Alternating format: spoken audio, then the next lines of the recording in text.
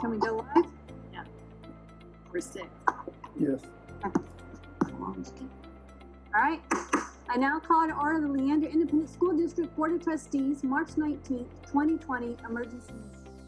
Even though students and staff remain apart, we can still come together to do great things for kids. Our Board of Trustees did just that, coming together virtually from their homes to approve paying teachers and employees during the COVID 19 global pandemic. In an emergency meeting on March 19th, the board approved a resolution to pay employees during the closure and to compensate essential hourly employees with premium pay. Even with our facilities closed until April 5th, we are still working to serve students. Listen to Board President Trish Bode and Superintendent Bruce Gearing talk about the meeting and the work continuing to support schools in Leander ISD. it's a very um, unusual time with what happens day to day. It seems like there's always something new in the news. So to be able to offer some stability or something that is consistent, We had a fantastic board meeting tonight, unprecedented, brand new, via Zoom. Never done that before in my life, I have to say. I think what is critical is that the board tonight, in a voice of solidarity, solidarity and in a unanimous motion, uh, said to Dr. Gearing and the district that we want you to be able to continue to not have unnecessary hurdles as we're working day to day through this crisis.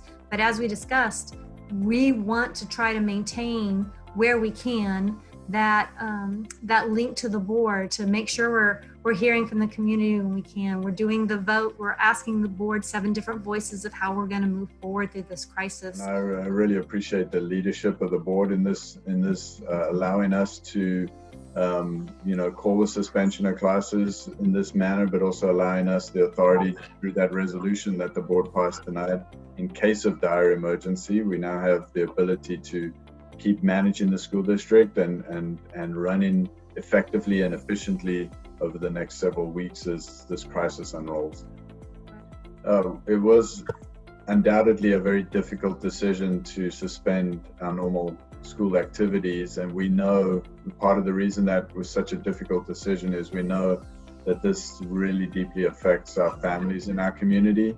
And we want them to know that we're doing everything in our power to meet their needs. Um, but should they have additional needs that are not being met, we really are urging them to reach out to us and we will do everything in our power to make sure um, that they stay safe and well during these very trying times. some of y'all took your spring break to start the process planning to get into place to get ready for next week.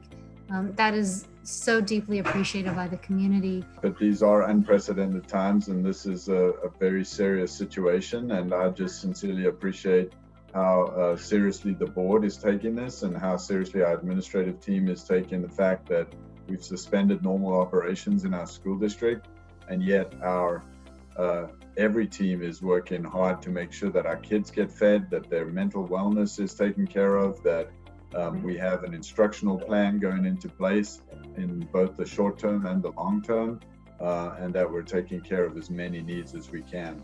For more information from Leander ISD and our response to the COVID 19 global pandemic, please visit leanderisd.org slash COVID 19.